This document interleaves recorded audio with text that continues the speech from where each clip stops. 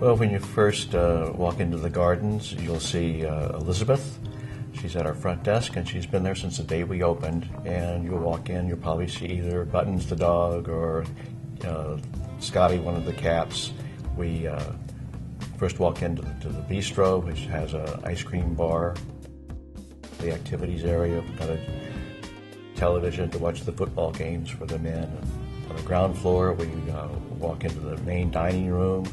Uh, every resident has uh, their own private menu. We then would tour uh, some of the rooms. Several residents that uh, like to show off their rooms. They've got them fixed so nicely, and they range from a, a two-bedroom uh, apartment down to a, a small studio. Six different floor plans.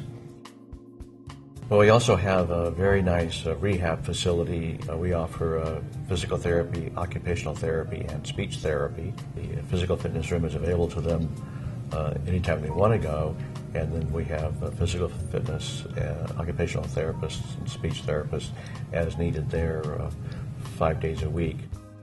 Well, the special care unit, we have 22 in house residents, we have one activity area we also have another sitting area that families can come and sit and chat with them. Well, the Gardens is, is uh, on 17 acres of land, and we have lots of walking trails, kilometer, kilometer and a half, and then there's shorter trails.